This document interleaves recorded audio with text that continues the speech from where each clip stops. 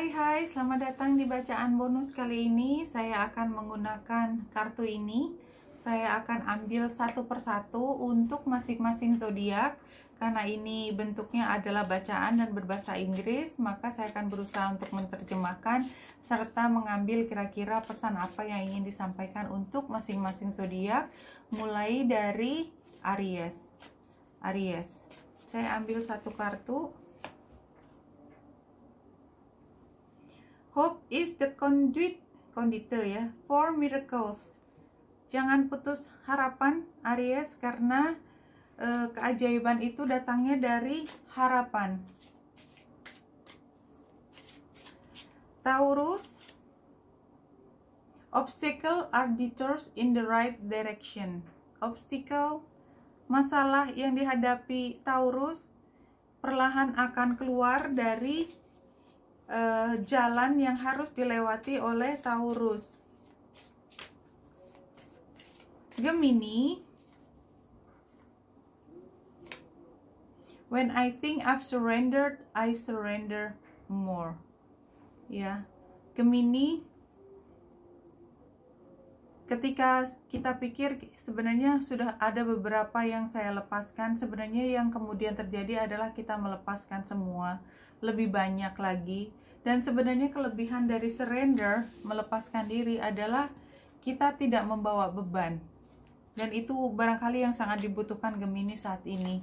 Tidak terbebani dengan pikiran atau perasaan yang mengganggu. Cancer Instead of praying for an outcome, I pray for the highest good for all. Cancer, bukan mengharapkan outcome jadi tidak mendikte outcome jadi ya kalau kalau kita berdoa tuh kita men, tidak mendikte tetapi yang penting meminta yang terbaik buat semua karena yang terbaik buat semua itu kadang-kadang jalannya kita tidak ketahui tetapi yang maha mengetahui bisa memberikan yang terbaik buat semua. Leo pesannya buat Leo adalah the universe has its back. Has my back uh, jadi apa pun yang kau lakukan kalau merasa bahwa injustice ya tidak diperlakukan adil masalah beruntun tidak bisa keluar dari masalah satu ke masalah lain sebenarnya semua itu Eh, kita diberi kekuatan Leo diberi kekuatan oleh universe. Jadi nggak mungkin lepas aja nggak mungkin jatuh atau terpuruk karena masalah-masalah itu. Karena sebenarnya universe tuh terus backup uh, Leo. Virgo happiness is my birthright. Ya. Virgo fokus untuk menjadi diri yang bahagia. Libra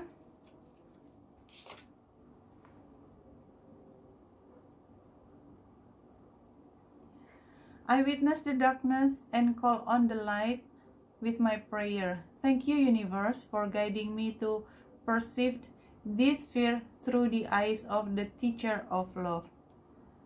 Ini buat Libra. Libra berterima kasih sudah diberi masalah di masa lalu karena dari kegelapan itu muncul sesuatu yang terang, suatu pemahaman dan dari perjalanan itulah kemudian Liba belajar tentang cinta yang sesungguhnya. Scorpio When I lean on certainty and faith, I change my mind about the world I see. Semuanya adalah bagaimana saya melihat. Kalau saya melihat dari mata yang penuh persoalan, dari mata yang penuh rasa sakit hati, negative thinking. Itu yang saya peroleh. Kalau saya mengubahnya menjadi cara pandang yang lebih positif, itu juga yang saya peroleh. Sagittarius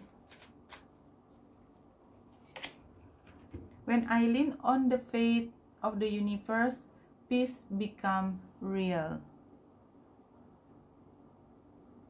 Sagittarius kalau kita melepaskan diri memberikan semua keyakinan kembali kepada Yang Maha Kuasa, kita merasa bahwa ketenangan itu, kedamaian itu adalah sesuatu yang real, bukan lagi satu ideologi. Capricorn, I recognize that I have chosen fear and I choose again. I choose love. Jadi dulu Capricorn memilih menghindari sesuatu, memilih memenangkan sesuatu karena takut akan konsekuensi, memilih untuk tidak berani mengejar apa yang diinginkan karena takut akan konsekuensi yang belum tentu keluar. Sekarang sudah belajar dan sekarang memilih cinta. Capricorn, Aquarius. Aquarius Oneness is my true nature. Aquarius. Oneness, satu kesatuan cara berpikir holistik. Semua, tidak ada yang terpisah-pisah, yaitu cara berpikir dari Aquarius. Masa lalu, sekarang, dan seterusnya, diri saya, orang lain, dan masyarakat selalu menjadi bagian dari yang lain, the tribes, Aquarius. Pisces. Happiness is my birthright. Pisces. Ya, kebahagiaan adalah hakmu ketika kau lahir ke sini. Oke, wanita indah di sini semoga membantu. Salam hati dan cahaya.